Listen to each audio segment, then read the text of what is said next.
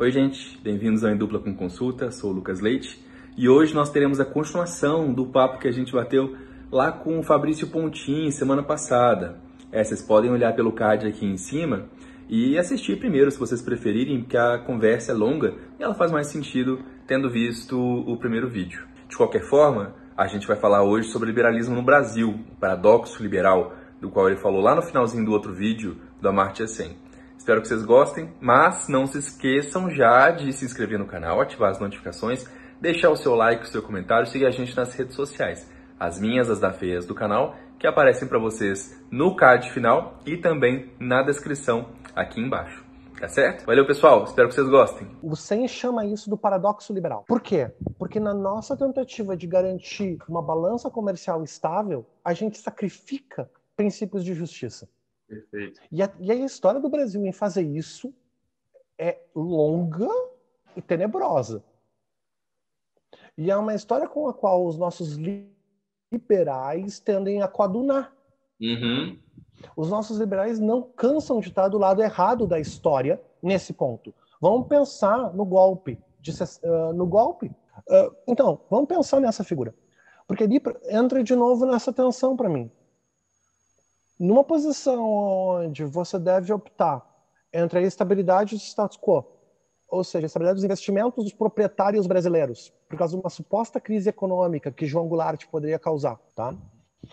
E do outro lado, tu tem um governo que é claramente legítimo, João Goulart não deu um golpe de Estado para chegar no poder, o que, que você opta? Você opta por deixar a democracia correr seu curso ou você opta por garantir o status quo?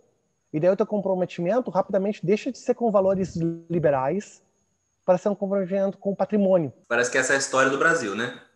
Em todos. Então, e eu acho que todos, todos, cara, todos. E o pessoal vive pedindo autocrítica do Partido dos Trabalhadores, e eu acho que tem que ter, tá? Eu acho que tem que ter, porque fizeram uma pancada de merda. É legítimo.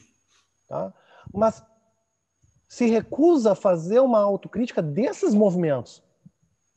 O que eu acho profundamente cínico. Isso. Exatamente. Então, quando a gente está falando, para mim, aqui, essa questão é a seguinte: ó, desce do teu cavalinho aí. Porque esse papo de totalmente liberal significa que não, passa, nem, não passamos pano para nenhum autoritarismo. Amigo, você divide partido com algumas figuras que eu vou te contar. Então, ah, mas o Maduro. Você já olhou para o seu companheiro de câmara? eu, eu, toda vez que alguém traz Venezuela ou Maduro, eu fico assim, gente, que fetiche é esse? Porque a gente pode falar de tantos países, pode falar da Arábia Saudita, da China, da Rússia, de países africanos, de países sul-americanos, do próprio Brasil.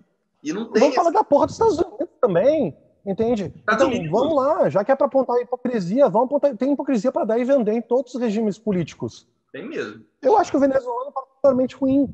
Ok? É ruim pra caramba. É uma ditadura, pronto, falamos, tá? É uma ditadura. Legal, ótimo. Beleza? Era que eu ouvi. Maravilha. É uma ditadura. Tranquilo assim, como governo, às vezes você vai ter que lidar com ditaduras, né? Fazer o quê? O Brasil tem relações com a Arábia Saudita, que faz a Venezuela parecer um passeio no parque. Uhum. Não, olha, a Venezuela é péssima, mas a Arábia Saudita eu vou te contar. Ah, mas as ruas são limpas na Arábia Saudita, né? Amigo, desculpa. Vai que ver o que, que os Emirados Árabes Unidos estão fazendo junto com a Arábia Saudita, com o Bahrein. Eu prefiro, ainda prefiro, ficar com as latino-americanas que a gente conhece aqui, com as situações complicadas que nós temos, do que aquele tipo de coisa que tem lá. E, de novo, eu acho que é uma forma muito fácil de transformar o debate num debate infantil. É isso. Quer é trazer, e a Venezuela? Tá, cara, o que, que tu quer discutir sobre a Venezuela? Vamos discutir então sobre a Venezuela. Ah, mas os atores políticos do PT denotaram uma nota dizendo que o Maduro não é presidente legítimo. Tá, acabei de te dizer, uma merda de uma nota de merda. Superamos? Tá, agora, agora vamos discutir a, a tua parte nesse latifúndio aí. Porque, de novo, vamos questionar um pouco isso. Então, quem sabe a gente começa a discutir taxação progressiva no Brasil? Tô esperando até hoje. Eles falaram que eu trazer isso. Não. Cadê? Me parece uma dinâmica bem liberal. Uh, vamos discutir, tá? Tu quer discutir privatização? Beleza, mas vamos discutir o reinvestimento, então. Para onde é que vai esse reinvestimento desse capital? Exato. Vai vender por que valor? Quem vai fazer? Como? Por mim, vende tudo. Beleza, pode Reforma da Previdência? Quer fazer reforma da Previdência? Tá bom, vamos fazer. Vai pegar quem? Só pobre? Então não vai rolar, querido. Não quero. De que forma? Funcionalismo. Vamos fazer reforma do funcionalismo? Ótimo. Vamos começar pela mais cara. Isso, pronto. Porque aí, aí fica tudo muito conveniente. Fica tudo muito conveniente, né? Vamos reformar o funcionalismo, vamos começar pelo judiciário.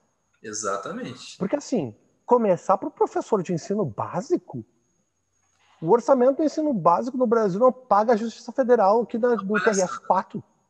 Enfermeiro, então, professor, é isso, é exatamente, é o que você falou. Essas pessoas elas não têm visibilidade, não são representadas na, na, na, visão clássica que a gente pode pensar em termos de representação é isso. Elas não são contempladas. Porque elas não são acionistas. E acaba sendo perfeitamente natural que essas pessoas que tenham menos patrimônio político para ser representado dentro da nossa dimensão de proteção de patrimônio, de liberalismo, tenham menos representatividade na discussão e sejam inversamente alvo de discussões públicas que são importantes para caramba. Olha só, desculpa, se você quer ter uma posição dogmática sobre privatização, você não vai comigo, você não vai se criar muito nisso, porque eu não tenho. Eu acho que dá para discutir privatização de boa. Entende? Agora, eu quero saber como a gente vai fazer essa, essa discussão.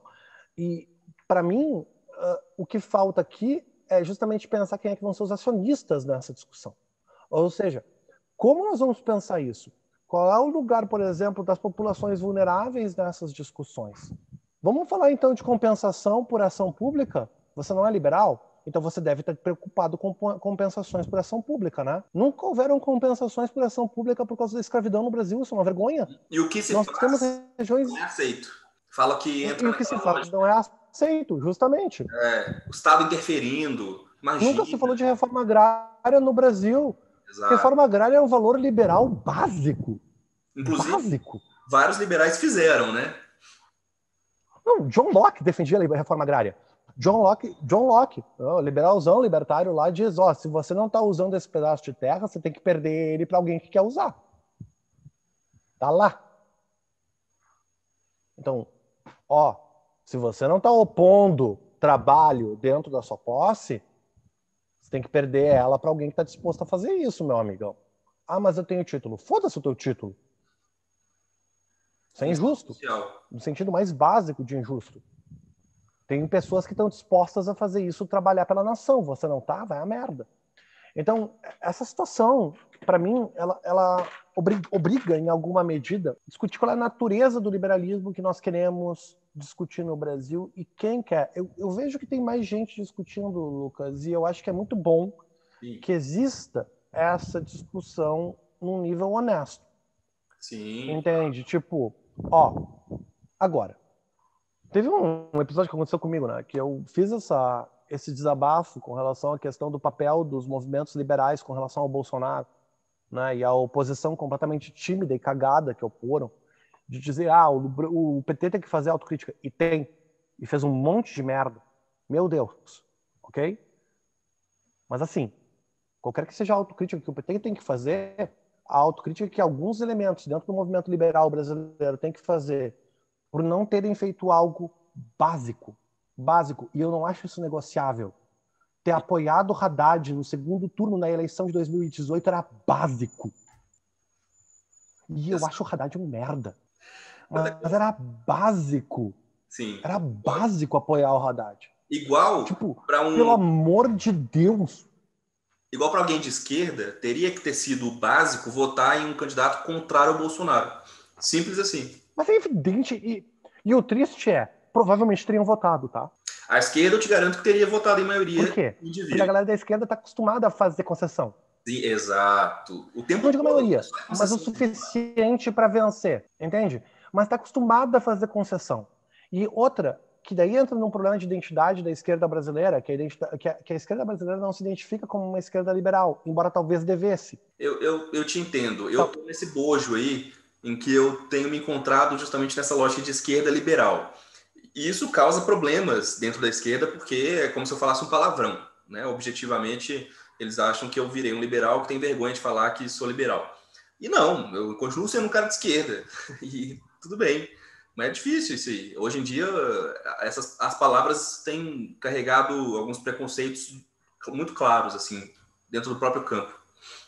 Não, porque para mim é um pouco assim, ó. Você não vai votar, você não votou no Haddad porque ah, porque o Haddad apoia ditadores. Então faz o seguinte, meu, você pega essa Amazônia queimando e você enfia. Você pega a ocupação de todo o Ministério Público pro miliciano e você vai viver com isso, velho. Agora, se você acha que é a mesma coisa, você está sendo desonesto. Pelo amor de Deus. Ia ser um governo ruim dentro dos parâmetros de normalidade de governo ruim. Civilização. Entende? E outra, ia ter rolado mais privatização do que rolou no Bolsonaro. Provavelmente. Te garanto. Entende? Tipo, é, é, é uma situação tão surreal que a gente tinha que ter essa conversa. Porque, para mim, ela indica um atraso do ponto de vista de como você entende justamente essa discussão do SEM, seniana, entre estabilidade e legitimidade. E no, e no caso, Bolsonaro, tu conseguiu magicamente sacrificar os dois, né? Sim. E eu não acho que o Bolsonaro deu um golpe. O Bolsonaro é presidente legítimo, a eleição foi legítima. Quero deixar isso bem claro. Mas, assim, a forma de utilização dos instrumentos de direito público não me parece exatamente legítima. Perfeito, concordo. E é instável. Tá instável pra caramba. Oh.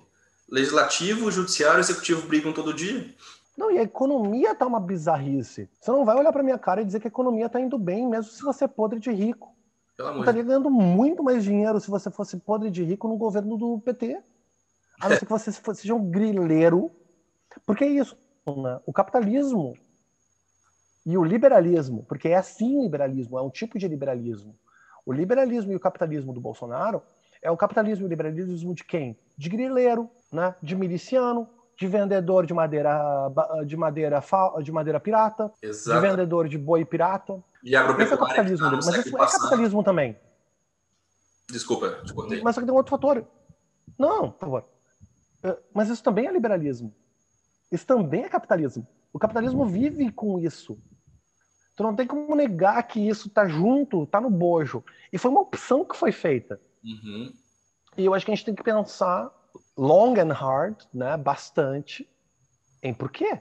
Tipo, saca? Eu, eu, eu fico me perguntando isso. Olha, amigo, porque vira uma coisa meio programa do Silvio Santos, né? Uh, você troca uma aquela da você troca uma ordem política estável pelos correios privatizados. Sim! Que é isso, mano? É claramente então... isso.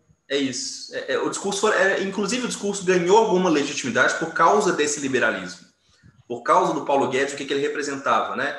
Em termos de, de proximidade com certos grupos, com um discurso de abertura, tirar taxa, facilitar comércio, que é, de fato, um discurso liberal e capitalista. Mas nem ele aparece. Nós estamos vivendo uma democracia iliberal, na, na, medida em que eu consigo olhar o que está acontecendo. E daí vem o outro fator, né? Que é, o pessoal tentou entrar com o boi de, pir... boi de piranha, que se fala. Acho que sim. Cavalo de Troia, né? Que foi o seguinte, os liberais privatistas brasileiros sabem perfeitamente bem que ninguém é eleito presidente no Brasil com essa pauta. Uhum. Ninguém é, nem o Cardoso foi. O Cardoso foi eleito com, em cima da estabilidade econômica. Sim. Não foi porque queria privatizar Deus e o mundo. Era por causa da estabilidade. Né? Lula foi eleito em cima de uma pauta social-democrata. Dilma também. E Bolsonaro foi eleito em cima de uma pauta de segurança. A pauta que elege o Bolsonaro não é dos liberais, é a da segurança pública, que tem um apelo para a população geral brasileira. Sim. Também é uma pauta de status quo, que entra de novo. Você sacrifica a legitimidade da ordem política, de polícia, por exemplo, em troca de uma estabilidade da tua segurança pessoal e se você está na merda com o pessoal botando revólver na sua cabeça, com medo de chegar em casa, talvez você diga sim. É isso mesmo. Especialmente quando te contaram que o outro lado era o demônio encarnado. É uma lógica de combate à impunidade, né, em todos os sentidos. De fazer justiça. Que eu acho muito triste. É, hum. é a negação das, das, instituições, é a negação do papel que deveria ser de fato o Estado. Eu acho que entra um pouco de novo, Lucas, nessa tensão que eu estou tentando marcar como uma definição bem discreta de liberalismo. Uhum. Eu acho que o liberalismo, no seu melhor modelo, no modelo mais sofisticado, ele tenta achar um equilíbrio entre legitimidade e estabilidade. Tá?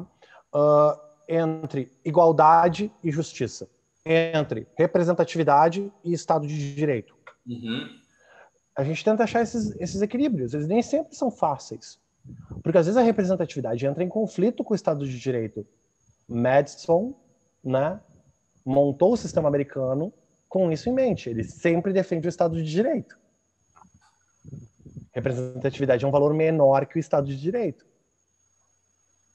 Mas quando a gente olha para os modelos liberais, eles tentam manter alguma, algum equilíbrio nessas tensões. Só que quando tu começa a ter crises institucionais, é fácil manipular o desaparecimento de uma dessas partes. E geralmente daí vai para a parte de segurança, que foi acontecendo no Brasil. Uhum.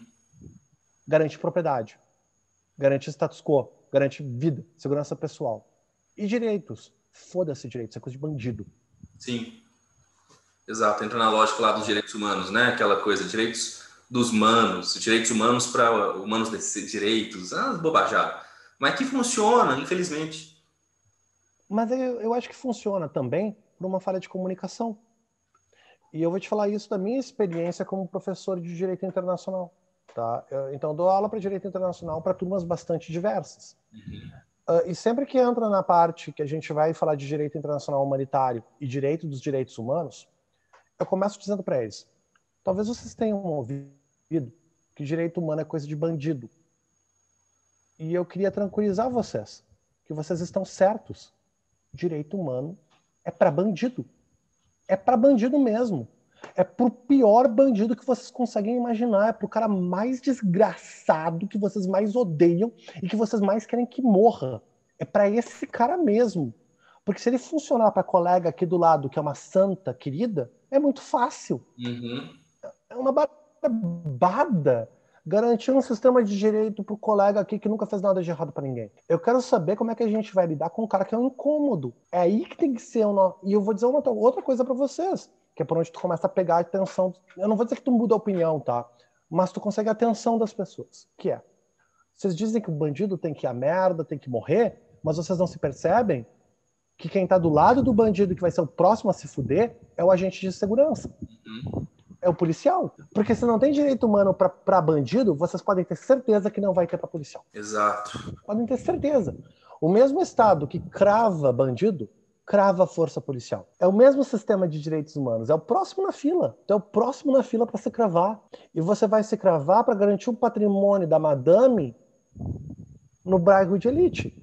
E você vai voltar para sua vida fodida, mal remunerada, com equipamento ruim, viatura ruim, para matar gente pobre, para fantasia né, de playboy que viu Rambo e teve orgasmo.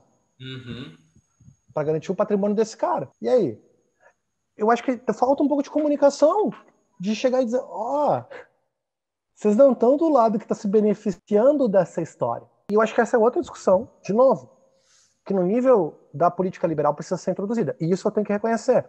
Eu acho que os novos uh, movimentos liberais brasileiros, não dá para botar todo mundo no mesmo saco, Sim. né? mas eu fico muito feliz de ver gente defendendo legalização de drogas, ver gente defendendo reforma da polícia dentro de círculos liberais. Era coisa que a gente não ouvia há 20 anos atrás. É Quando eu estava na faculdade, tu não encontrava pessoas que se diziam liberais e eram críticas do modelo de segurança. E isso é uma inovação que essa nova geração está trazendo e eu acho ela muito boa. E tem que conversar com essa galera. Não dá para descartar. Então eu espero que o pessoal esteja conversando com a galera do Livres aí que está se elegendo para falar de política de segurança pública, porque eles têm muita coisa que tem. E isso é uma coisa boa. Sim. Saca? Consenso. É, ou pelo menos algum tipo de caminho para se trilhar com relação a isso. De pelo menos dizer, olha, crime sem vítima não pode dar cadeia. Não tem por que mobilizar a força policial para crime sem vítima. Desgastante para o policial, é desgastante para todo mundo. O, o, o, resumo da ópera em termos desse, dessa questão é, é justamente o ponto de que os liberais brasileiros eles estão pouquíssimo afeitos ao liberalismo. Ou seja, eles não sabem a essência da questão para lidar com os problemas que nós temos. Mas do outro lado também nós temos pessoas que radicalizam e a radicalização é necessária em certa medida. A radicalização ela faz mexer, faz trazer movimento. Mas que, igual você colocou, eu concordo contigo, né, no sentido de que a comunicação tem que ser muito bem eh, gerida, ela, senão ela vai causar ruído, ela vai causar problemas que, vai, que na verdade vão, né, vão ser um tiro pelo culatra. Eu acho que a primeira parte, e a parte que para mim é mais importante dessa nossa conversa, Lucas, é, é justamente apontar para mim para uma falta de, não, de dimensionamento da história desses movimentos no contexto brasileiro. E de que, em grande medida, geracionalmente, nós estamos numa posição complicada, mas também privilegiada, que eu acho que a atual geração de liberais brasileiros, essa mesma aí, que a gente gosta de criticar, mas do Livres, do próprio Novo, tem uma oportunidade única de cortar um cordão umbilical. Eles vão fazer isso? Não é o que está aparecendo. O Novo, no Rio Grande do Sul, virou basicamente uma sucursal limpinha intelectual do bolsonarismo. É isso que virou o Novo no Rio Grande do Sul. São Paulo Desculpa. e Minas não está diferente. Desculpa, virou isso, virou uma sucursal limpinha de fundamentação de política bolsonarista. E que é apoiada pelas mesmas elites patrimonialistas que apoiaram o bolsonarismo. Velho da van da vida. Uhum. Fiergs, Farsul. Todo mundo na Fiergs e na Farsul é bandido? Claro que não. Ok? É evidente que não. São instrumentos coletivos importantes, Sim. patronais talvez tenham que existir. Ok? Mas assim, eles têm um interesse específico por um certo tipo de status quo. E a pergunta que para mim fica é: essa galera está disposta a, acordar, a cortar o cordão umbilical com essa galera? Ou só está disposta a cortar o cordão umbilical com um centrismo que na realidade às vezes parece uma certa alergia pobre, uma certa alergia a. Entende? Então, onde é que está a prioridade do movimento liberal brasileiro? Porque às vezes parece que é só um conservadorismo com tênis da Adidas. Ou sapatênis. É, ou com sapatênis, entende? Então, de novo, onde é que está isso? Como é que, qual é o nível que a gente vai ter essa discussão? Na, o, o tucanato e o PSDB acabou fora de São Paulo, não existe mais, né? Um ex-partido. Mas o Tucanato é outro que tem que fazer uma. tem que olhar pro coração, assim. É, aqui em São Paulo. se o PT foi mal na última presidencial, caralho, né? O que dizer do, do PSDB? 6%. E a gente precisa de um partido como o PSDB. Sim. A gente precisa de moderados, né? Eu acho que é isso. A gente está precisando de, de centro-direita. A gente está precisando de partidos que saibam dialogar com a esquerda e com, com os quais a esquerda consiga dialogar também de alguma forma.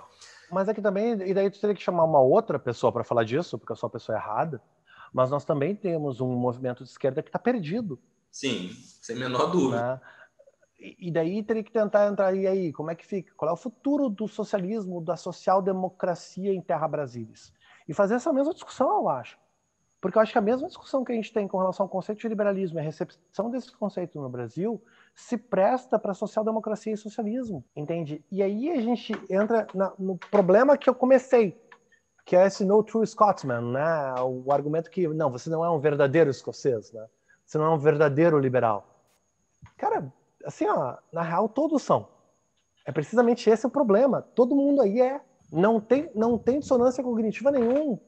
Tu quer, tu quer dizer que tu é liberal? Então tu é. Foda-se, pega um nome e corre com ele pela loja. É. Faz o, o que tu quiser dele. É só um nome. O problema é o que, que carrega no Brasil essa pecha, né? Quando a gente enxerga que tem nossos amigos liberais que sabem, que dialogam, que estudam, que explicam, que conversam com outros grupos que são abertos, que estão dispostos a negociar, enquanto a gente tem esse liberalismo, por assim dizer. Então, eu tenho uma dificuldade muito grande de associar liberalismo, de fato, a, a, ao, ao bolsonarismo de, bem vestido, né? Que eu acho que é isso. Aquilo eu não consigo ver como liberal. Eu consigo. É isso. Eu consigo perfeitamente ver como liberal. Eu consigo ver como um liberal dentro dessas dimensões de patrimonialismo. Sim, é o que você falou do John de proteção de propriedade. Entende? Eu consigo ver isso como uma espécie de liberalismo. A minha pergunta é, e daí é a pergunta para os outros colegas que também se dizem liberais, é isso? Então, é isso que vocês querem. E eu acho que tem uma galera que tem que admitir em público que é isso que quer mesmo e parar de ficar de fingimento. E isso eu admiro o pessoal mais bolsonarista céu aberto, que pelo menos não tenta te fazer de otário. Mas tem uma turma aí, né, do Partido Laranja, precisa parar de fingir. Sim. Livres. Tipo, Tipo, é isso que vocês são. Ah, não, mas não é, não, nós não apoiamos esses caras. Não, desculpa, vocês apoiam esses caras em tudo. Se você acha que ele é sujinho, é por isso que você não gosta dele. É Ai, é um reacionário. Todo mundo do movimento que participa do Congresso tá votando alinhado com esse cara. Ai, mas ele nos odeia. Se ele odiasse, ele já tinha falado de forma mais clara. Disse algumas coisinhas, mas ele deu, sabe, aquele, aquela coisa tipo, ai, é, é, é total teatrinho. Sim, pelo amor de Deus, então, é. Vira uma coisa para inglês ver. Sim. Entende? E eu acho que a gente não está precisando disso. E daí a gente vai reclamar. E é isso. Daí eu vou, tipo, seu primo. Ó, desculpa. Diga-me com quem tu andas que eu te direi se eu vou junto. Tipo. Peraí. Isso tá bem estranho. Né? Então, de novo, Lucas, eu acho que é. Tem um impacto enorme de um certo tipo de liberalismo no contexto brasileiro e tem uma necessidade enorme da gente discutir para além dessa janela e sim para um tipo de liberalismo, creio eu, que esteja comprometido com valores de justiça, com valores institucionais, com uh, desenvolvimento de uma forma mais ampla e que não, e que não esteja fadado a repetir lugares comuns. Né? Mas, ao mesmo tempo, a gente tem que pensar onde é que está o dinheiro. E daí tem todos esses think tanks. Instituto Atlas. Von Mises não tem tanta grana comparado com o Atlas. Institutos de Estudos Empresariais, Instituto Liberal, Instituto de Artes Liberais, esses think tanks aí. Quem é que está botando dinheiro nisso aí? Nos eventos dessa galera? No Fórum da Liberdade. Nada contra. O Fórum da Liberdade tem direito de existir. Sim. Mas, quem é que está por trás disso? Quem é que está colocando essa grana? E, de novo, faz o lobby que tu quer mas depois não vem me dizer que o teu comprometimento é com alguma coisa nova, quando você está reproduzindo as mesmas elites que sempre tiveram encarregadas da economia brasileira. Sim. Ah, eu quero algo novo. Você quer algo novo financiado pela Farsul e pela Fiergs? Mudou só de nome. Assim, só mudou. Exatamente. Porque esse teu algo novo me parece ser exatamente quem está no poder, no caso do Rio Grande do Sul, desde, sei lá, 64. Então, é novo? Não me parece muito novo. É legal. Eu não estou dizendo que esses caras não têm que existir. Eu só estou dizendo que está parecendo que está me tirando para otário. Sim. Na, tipo... Falta coerência. Então eu acho que é um pouco por aí, sabe? Então tá, beleza. Quais são, quais são as organizações diversas que vocês têm aí? Como é que tá a foto do grupo? E vocês botaram alguém LGBT aí só para dizer que diversidade não importa? Uhum. Tem um negro aí que só serve para dizer que não precisa de cota racial, que não precisa de compensação. Que estranho, né? Tipo, não, o cara tem o direito de ter a opinião que ele quiser, mas é estranho. É estranho, parece que não tem diversidade nesse grupo, então. Então vocês não querem compensações? Um pouco estranho, porque vocês disseram que era uma política nova, mas vocês estão reproduzindo as mesmas prioridades da década de 50. Então, estranho, né? Eu acho que no mínimo estranho. Estranho. Uh, a gente tem direito de fazer perguntas. Então, é, sabe, para mim passa por aí essa discussão, Lucas. E ela passa, não sei se tu quiser também.